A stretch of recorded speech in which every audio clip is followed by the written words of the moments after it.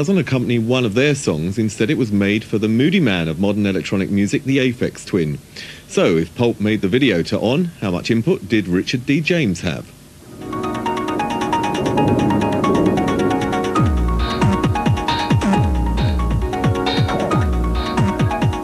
There's nothing to do with me at all really, apart from that's the, I just chose the style of video.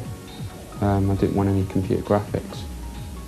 Uh, I just wanted it to be sort of all, sort of real things going on and not, nothing sort of computer um, sort of produced.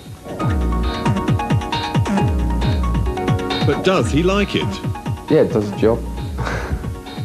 The Aphex Twin is Britain's premier techno innovator, an electronics wizard who makes all his own instruments and has recorded some of the most haunting and original electronic tracks of recent years.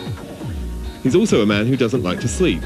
Before I got really obsessed with music, I decided that I didn't want to be sleeping, you know, like a third of my life away, um, and just decided to cut it down. And it just took quite a while to get used to it, but got it down to two hours a night and then half an hour.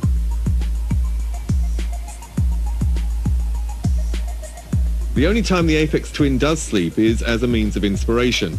The ideas for his forthcoming triple album came from a technique called lucid dreaming. All the tracks were like 70% of them, roughly, were done asleep and then remembered and recreated in the studio.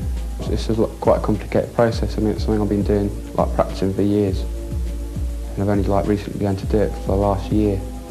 In the past, Richard D. James has recorded under a variety of pseudonyms as a means of sussing people out. Basically, by changing my name and working with, you know, sort of various circles of people, I was able to work out, you know, who was in it for the music and who was in it for the money. So where did the name Aphex Twin come from? I don't know, just made it up. So it doesn't have any deep connotations. Um, not that I know of. And is it a misconception that there is another Aphex Twin sitting in a bedroom somewhere playing with his keyboards? Yeah.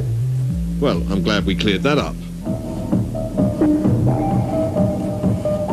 The Aphex Twin recently completed a tour of the States with fellow techno artists Orbital and Moby, something he enjoyed but has no plans to repeat. I wanted to like tour America. I wanted to play gigs and like I've done it and don't want to do it again. He also has a rather bizarre approach to playing live. I'd rather annoy people. You know, I get a bit scared when people start dancing and getting into it. I usually get a bit worried, a bit worried.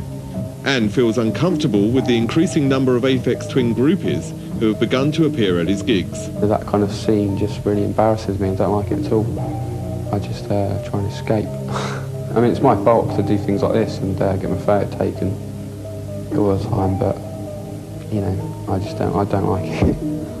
I don't really like doing interviews and uh, all the rest of the sort of showbiz kind of things, but um, I do it for the same reasons I make records. I don't really like making records either, but uh, I do it all really so I can earn a living. I don't have to get a job, so I can get more time to make music.